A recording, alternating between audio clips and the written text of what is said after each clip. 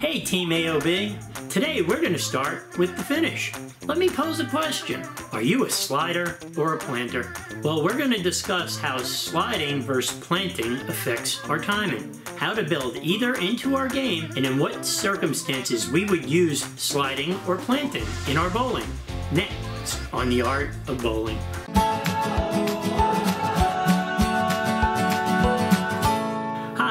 Coach Arthur. Thanks for watching the Art of Bowling channel, where we discuss tips, tricks, and techniques to help you bowl your best. If you're into bowling content and haven't yet subscribed, well, here's of Brooklyn on advice on what to do. Oh, hit that subscribe button already!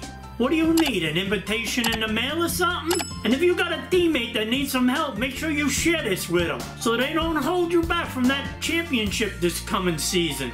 Thanks, buddy. Today we're going to be working with Timothy Hugh. Aside from a 4.0 GPA and three AP classes this year. He also made National Honor Society, and he happens to be a complete sponge when it comes to bowling.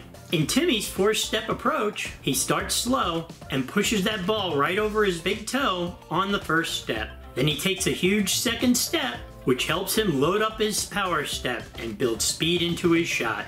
And here's where we're focusing in on, his last step. Usually, we would like to see a slide step here when he releases the ball. But Timmy is a planter, meaning there's no slide, and it makes Timmy's timing look a little bit off.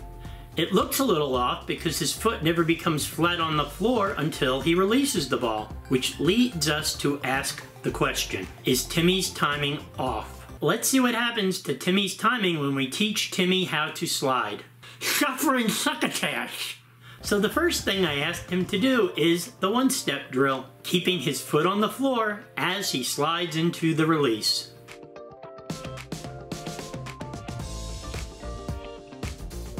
The next thing we're going to do is a two-step drill, only I'm going to remind him to step and slide as he goes through the motion.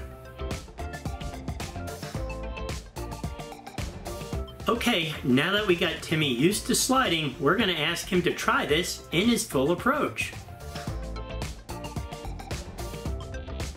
And there we go. Timmy has effectively added a slide into his repertoire in a half hour lesson.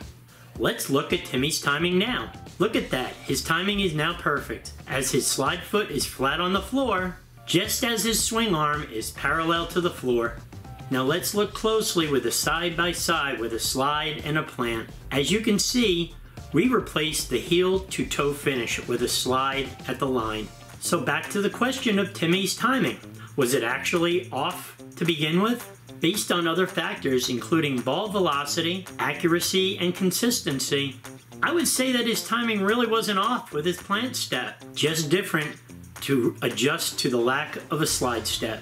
Well, if his timing isn't off and he's doing well with a plant step, why add a slide step at all? The simple answer is long-term health. Years ago, there was a sports science video on ESPN that measured how much pressure we placed on our knee when releasing a bowling ball. Planting your foot adds to that pressure. So in the interest of protecting Timmy's knees in the long run, he should switch over to sliding. And if this is the case, why would anyone decide to plant instead of slide? Hey, I bowl in the center where the floor sticks. Humidity and such. Sometimes sliding isn't easy. That's right, Art of Brooklyn. If your center is located in a lower level with higher humidity, that will cause inconsistent friction at the foul line and planting can actually help you from falling over. In such cases, it's not a bad idea to know how to deliver the ball using both methods. Adaptability can make the difference between a bad night and a badass night.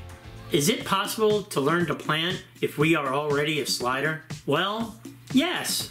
We follow the same course of training in reverse. Take Michael Palmisano, a ninth grader at Holy Cross High School in Bayside, New York. Michael averaged 200 in the CHSAA League as a freshman and happens to be Timmy's doubles partner. I'm going to teach Michael how to plant for those Triple H days where sliding is impossible. So we're going to start Michael off with a one-step drill but instead of sliding, he is just going to step into the shot heel toe. Next, we're going to go into the two-step drill, heel toeing into the shot.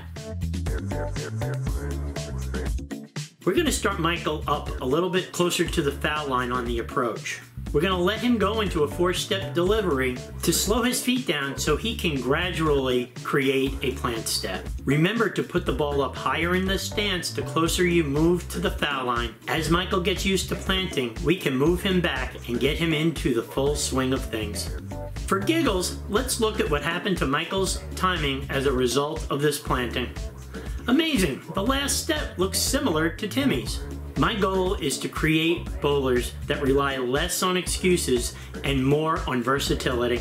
Instead of whining about conditions, they should be able to adapt on any given lane. If you're going to try and add this to your bag of tricks, you're going to want to go back and forth as you practice this, just so you are ready to use the slider plan at any given moment. Let us know what your thoughts are on this video by sliding into the comments section below and whether you are willing or not to learn the opposite of what you currently do. Thanks for watching and see you on the lanes.